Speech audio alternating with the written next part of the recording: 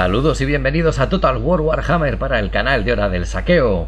Hoy, bueno, os traigo eh, un enfrentamiento eh, que es Imperio, o sea, Caos contra Imperio, ¿vale? Perdón.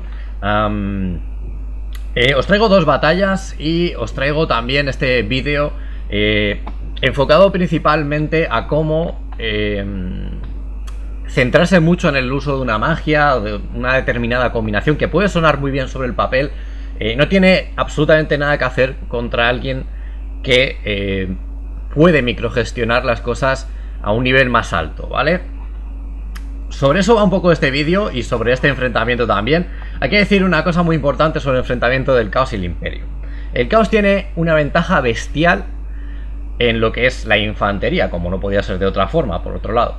Eh, es cierto que el imperio tiene variantes de infantería, tiene buenas unidades de infantería, pero el caos en general, en el cómputo global, tiene unidades mucho más fuertes y es mucho más fuerte, de hecho es uno de los ejércitos más fuertes en ese campo, precisamente. Tiene unidades de élite, tiene unidades de menos élite, en fin, tiene muchas combinaciones para ganar enfrentamientos de infantería. Bueno, además hay que decir que bueno, tenemos a Sigvals, eh, tenemos el Siembra de Demonios, tenemos la Guardia de los Espejos, tenemos Bárbaros del Caos, tenemos eh, Alabarderos, tenemos creo que Guerreros del Caos con armas a dos manos, tenemos Jinetes Bárbaros con hachas arrojadizas, Ah, tenemos eh, mastines, un par de unidades de mastines. Tenemos un hechicero en este caso del saber de la muerte, ¿vale? Que es A mí me gusta mucho el saber de la muerte para combinarlo con Sigval. Creo que complementa bastante bien y tenemos diferentes accesos a hechizos. Así que está muy bien. El imperio, evidentemente, como os he dicho, lo tiene difícil a la hora de ganar de infantería. Tiene buenas unidades y tal. Pero el imperio verdaderamente donde tiene su fuerza también es que pues tiene arcabuceros, tiene otro tipo de unidades de apoyo, tiene pues unidades de caballería diferentes. O sea, hay otras combinaciones y el imperio verdaderamente es una de las facciones más fuertes en el competitivo, ya lo hemos hablado muchas veces. pero, ¿qué pasa? Que como os he dicho en muchas ocasiones, la gente se centra mucho, se ceba mucho a la hora de utilizar ciertas cosas. Aquí tenemos otra vez al amigo hechicero de Jade con los que habitan bajo tierra. Pero vais a ver cómo se puede penalizar ese tipo de situaciones. Vamos a ver un poquito aquí la carga de los bárbaros. Bueno, los bárbaros realmente contra los flagelantes aquí en este caso van a sufrir bastante. Es nuestra masa eh, que podemos sacrificar. Verdaderamente no es algo que nos moleste eh, enviar al choque porque las unidades que van a venir por detrás van a obtener su bonificación a la carga y los bárbaros van a absorber ese daño inicial que nos pueden hacer los flagelantes y demás. Entonces es un intercambio muy positivo para nosotros porque hemos puesto en situación eh, tropas. Además fijaros como en la ubicación inicial aquí hay terrenos impasables a los lados, aquí hay cosas que molestan, pero lo que vamos a hacer una vez salgamos de ese cuello de botella va a ser tratar de flanquear, siempre tratamos de flanquear con nuestras tropas y nunca, nunca hacemos pelotas aquí en medio, ni hacemos pelotas aquí en el centro, ni cosas así, que es lo que beneficia realmente al hechicero de Jade y a ese tipo de magos, ¿vale? Al del pozo de sombras, a, en general, muchos tipos de magos que son muy destructivos.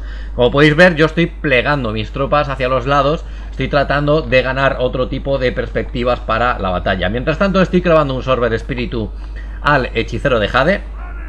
Aquí no lo debería haber potenciado porque realmente no estaba tan lejos para que lo tengáis en cuenta, pero el sorber espíritu le hace bastante daño a los otros hechiceros. Aquí tenemos carga de alabarderos contra malditos, un enfrentamiento que no debéis permitir porque los malditos son unas bestias contra unidades con lanza. La velocidad de ataque de los malditos, junto con esa eh, capacidad para infligir grandísimos daños, los convierte en una pesadilla para lanceros y para alabarderos en general de otros ejércitos, ¿vale? Solamente tropas muy muy rocosas y acorazadas eh, pueden aguantar bien a los malditos, o tropas con armas a dos manos como los grandes espaderos pueden llegar a intercambiar daños de una manera eficiente y eficaz, ¿vale? Entonces, bueno, fijaos cómo se está planteando la situación. Yo estoy aquí expectante un poquito con los siembra de demonios. En un cierto momento lo que voy a hacer va a ser atravesar las tropas por aquí. Y mientras tanto estoy tratando de lanzar hachas con estas tropas. Me voy a acercar en cierto momento a zonas de influencia. Mientras tanto, tenemos trabados aquí malditos con eh, alabarderos. También, algo interesante para mí como podéis ver de nuevo. Ah, y aquí, ¿qué pasa? Que los mastines, fijaros cómo se están colando, cómo se están colando. Fijaros, fijaros ahí, ya tenemos en una zona donde más o menos nos importa. Mientras tanto, pues eh, mi rival en que está centrado en este momento, ¿vale? Lo vamos a ver aquí. Mi rival ahora mismo está centrado en dos cosas. Una, en bajar con Boris Todbringer a por el príncipe Sigbal, que puede estar bien. Boris es un gran personaje y intercambian bastante bien los daños. Ah, pero, eh, fijaros, en lo que más está concentrado ahora mismo mi rival para que lo veáis, es en esto, ¿vale? Nos va a clavar aquí un los que tan bajo tierra a una unidad de bárbaros que está a la mitad eh, contra guerreros del caos con armas a dos manos, que bueno, mm, perder estas dos unidades a mí no me ocasiona demasiado eh, problema, ¿no? No es una cosa problemática. Mientras tanto, ¿qué está pasando? Pues que los mastines se han colado a por las balas de plata y se han colado, en este caso ahora lo vais a ver, aquí están, aquí van, aquí van, aquí van, corriendo, sin freno, a por el hechicero de Jade. Vale, perfecto, ¿no? Lo tenemos donde queremos la batalla, ¿vale? Tenemos toda la línea colapsada del imperio, tenemos los flancos eh, a nuestra merced, están todas sus tropas expuestas en los flancos, cosa que nunca debéis dejar pasar o que debéis limitar al máximo posible. Y fijaros que, que, bueno, que los guerreros del caos han sufrido algo de daño y tal, que aquí hay lanceros en nuestro camino, pero fijaos, el sembra demonios, eh, los malditos tienen acceso aquí ya a los arcabuceros, a otro tipo de tropas, el hechicero de Jade está sitiado, ah, aquí de hecho seguimos eh, caminando. Si Val no está demasiado incómodo con la presencia de Boris, porque además a Boris le estamos tirando hachas, ¿vale? Entonces no estamos nada mal, aquí llega Boris para tapar el hechicero de Jade y aquí llega el hechicero del caos, fijaros el hechicero del caos en un enfrentamiento uno para uno con un personaje hechicero imperial, el daño que hace es bestial, ¿no? Entonces, no debéis dejar que os pase esto, no debéis centrar, es lo que os he dicho muchas veces, y es por lo que yo pienso que está tan flojo el nivel competitivo. Creo que hay mucha gente que se piensa que los que hay tan bajo tierra es un botón de auto-win. Y contra gente que verdaderamente está curtida, contra gente que verdaderamente es buena jugando en, en Ranked, eh, en los que hay tan bajo tierra es una herramienta que es útil, es una herramienta que está muy bien, igual que la transmutación final y otras magias que son poderosas, pero no es nada definitivo. Fijaros cómo yo fácilmente he identificado las cosas que me molestaban de su ejército y cómo las he arruinado. Me he cargado el hechicero de Jade, me he cargado los arcabuceros y he atravesado la línea como me ha dado la gana a cambio de pues unos bárbaros y unos guerreros del caos que fijaos que a mí no me importa demasiado. Entonces, la microgestión siempre mucho más importante que cualquier planteamiento inicial, en general, aunque hay planteamientos ya cuando llegas a cierto nivel que sabes en, cómo, en qué términos está jugando el competitivo, sabes de qué va el asunto y sabes qué cosas son las mejores y cuáles son las peores, eh, la microgestión es algo fundamental para si queréis ser grandes jugadores de, de Total War en general, ¿vale? Entonces, fijaros, victoria ajustada porque hemos arruinado todo el ejército, no había nada a salvo de este ejército. Fijaros, malditos 202 bajas, 92 eh, bárbaros sacrificados por mi parte, 54 y 67 bajas para estas dos unidades, eh, una de alabarderos que prácticamente ni le ha tenido que marchar en combate porque estaban de vigilancia de mi, retaguardia, ah, jinetes bárbaros para bombardear a Boris Todbringer y mastines para colarme donde a mí me interesaba, siembra demonios y guardia de espejos perfectos en esta batalla, ¿vale? Segunda batalla. Vamos a enseñar una batalla en la que mi rival está centrado en clavar redes, ¿vale? Eh, el hechicero brillante con la red, eh, o sea, el hechicero brillante no es el hechicero de la luz, con la red es muy poderoso, ya lo sabemos todos, es una gran arma que tiene el imperio. Y tenemos el Luminarca de Templehof, que es bastante temible, ¿vale? Cuando veáis el Luminarca, está aquí, lo veis aquí, Además tenemos un escenario que facilita el que tengamos que recorrer un gran camino y que hay un otro cuello de botella donde tenemos que pasar obligatoriamente con nuestra masa de infantería, etcétera. Vale, entonces el planteamiento más o menos podía estar claro desde el punto de vista imperial.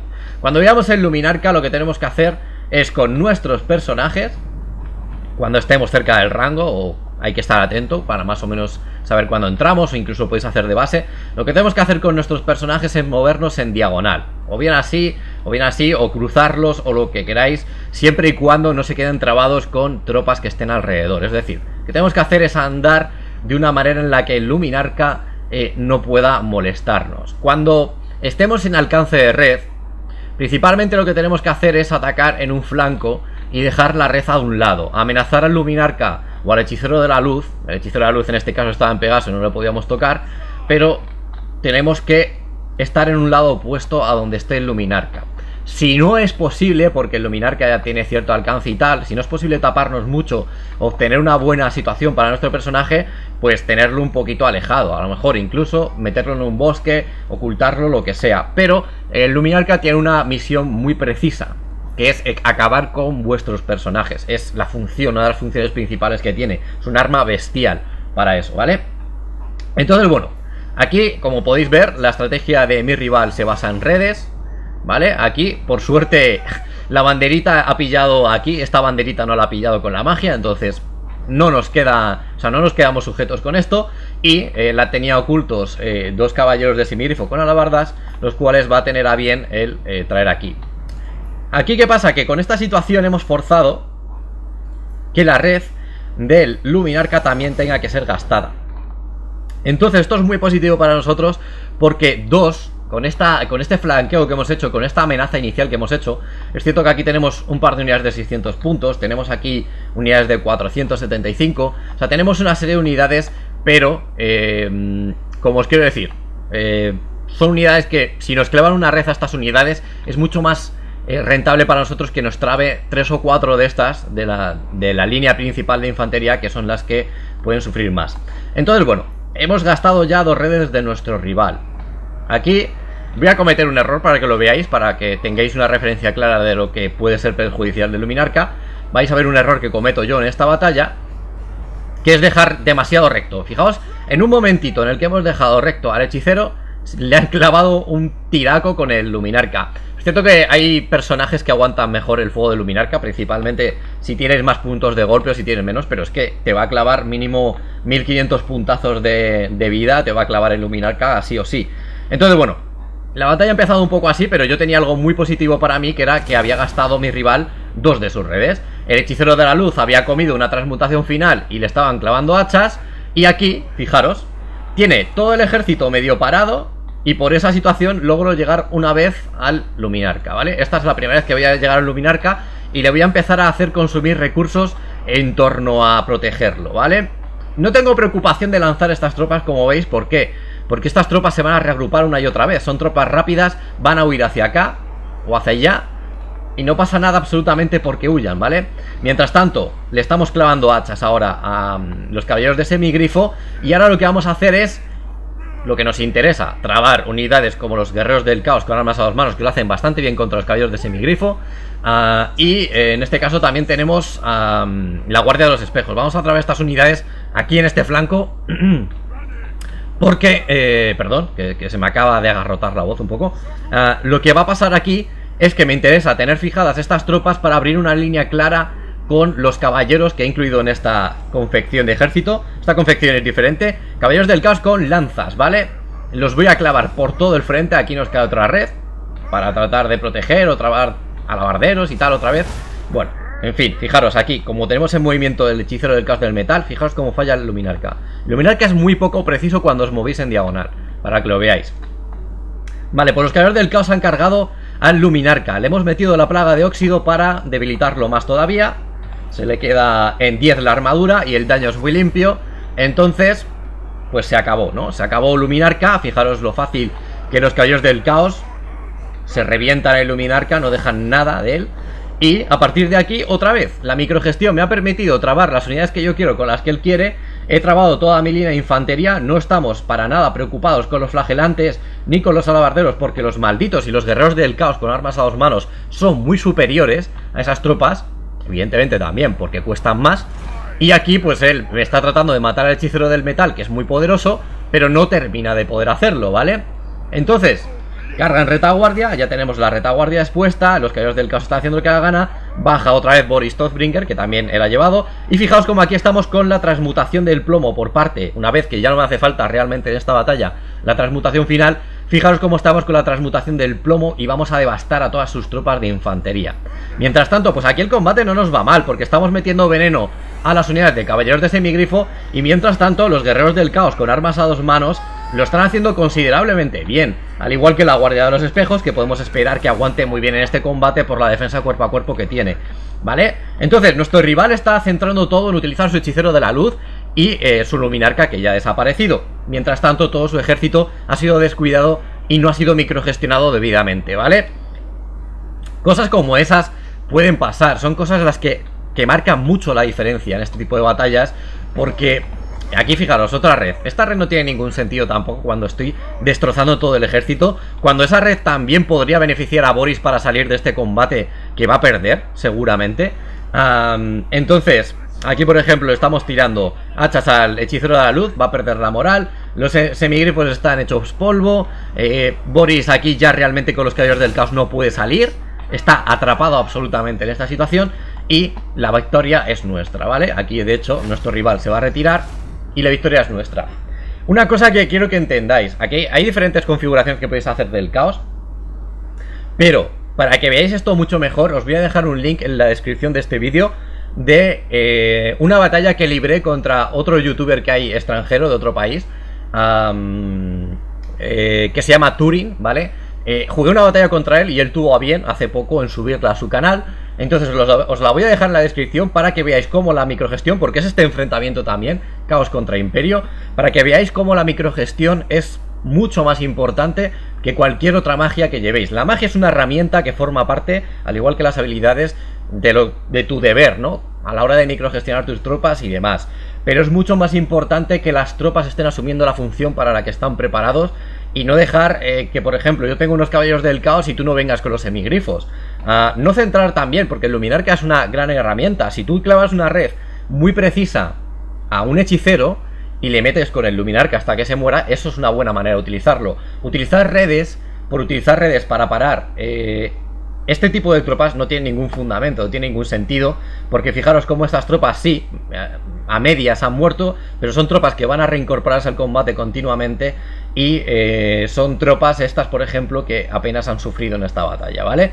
Entonces, la microgestión es mucho más importante, echadle un ojo a ese vídeo que os voy a dejar en la descripción si os interesa, para que tengáis un complemento eh, porque fue una, os lo digo una, mm, sinceramente, fue una gran batalla. Es cierto que en mi confección hay un error, que es no llevar nada de extra a los mastines en cuanto a movilidad. Hay un error en mi configuración, pero eh, es una gran batalla y es una batalla que quizá os merezca la pena ver y echarle un ojo porque está muy bien, ¿vale? Así que nada chicos, espero que os haya gustado este vídeo, que os haya servido y nos vemos en el próximo.